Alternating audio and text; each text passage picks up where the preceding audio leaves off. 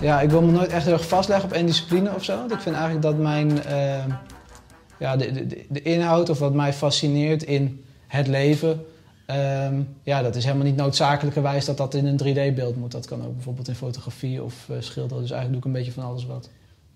Wat wel echt een kenmerk is van mijn werk, is ehm, dat ik altijd op een soort grens wil zitten tussen abstractie en figuratie. En dat is dan bij mij vooral in ruwheid. Dus dat ik, het, uh, dat ik sommige delen heel ruw wil laten en door net een paar details uit te lichten. Ik werk meestal vanuit een soort pool van chaos en dan, dan, dan probeer ik daarin op kleine eilandjes een beetje orde te scheppen. Nou ja, mensen zeggen vaak al van ja, het is heel duister of grimmig of zo. En dat kan een soort bijproduct zijn of zo. Want ik wil iets laten zien wat uh, bijvoorbeeld standbeelden met net even een twist. En doordat het net niet aan je verwachtingspatroon voldoet, denk ik dat voor sommige mensen een beetje uh, spookachtig of, of engig of zo wordt. Maar dat is niet een, uh, ja, vooropgezet plan of zo. Dat is niet waar het mij om gaat. Waar het dan met name om gaat, is een beetje de spanning tussen uh, het verhalende of het iemand meenemen in een verhaal enerzijds. En in een verhaal is altijd alles precies zoals het hoort en alle gebeurtenissen zijn belangrijk. Dat enerzijds. En de alledaagse werkelijkheid die wij kennen anderzijds. Van het boodschappen doen en uh, naar de wc gaan en nou ja, gewoon de onbenulligheden. Ja, ik weet niet, ik, ik wil mensen daar gewoon een beetje uh, ja, op wijzen. En ik wil het zelf ook een beetje verkennen. En of dat nou schertsend is of komisch of dat het juist heel tragisch is. Ik bedoel, het kan ook heel, heel emotioneel zijn, of heel gevoelig juist als je de onbenulligheden ook benoemt.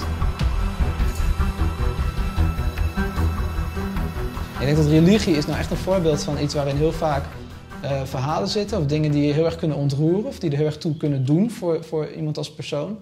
En ik vind juist om dat te contrasteren met alledaagse dingetjes. En wat lijkt alsof het bijvoorbeeld een totempaal of een glas- en loodraam zou zijn. Alsof het iets is wat belangrijk is. Dat heb je vaak als er symmetrie in een beeld zit. Dan lijkt het alsof het een bepaald uh, bepaald belang uitstraalt.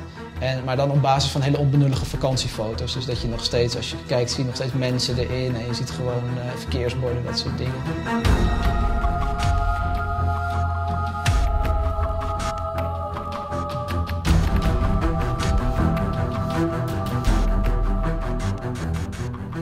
Ja, belofte. Uh, nou, het is een project van uh, uh, Kunstliefde. er zijn acht kunstenaars, jonge kunstenaars, geselecteerd ja, om daar wat van te maken. Nou, het thema is toen.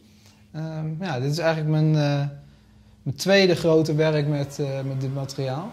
En ik, ik, pak ingrediënten die heel zwaar beladen zijn, of die heel erg een, een verhaal lijken weer te geven. En die, die, die arrangeer ik zo dat het uh, ook een heel onbenullig moment wordt.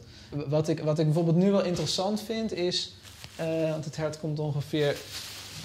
Er moet een bepaalde... Moet ik even kijken hoe die tussenruimte gaat worden. Maar er begint nu al een soort uh, vorm in te ontstaan. Dat is typisch zo'n soort vorm wat je zou verwachten in nou ja, een oud schilderij of een, een standbeeld. En meestal heeft dat dan een bepaalde reden of betekenis. maar bij mij is dat gewoon puur omdat...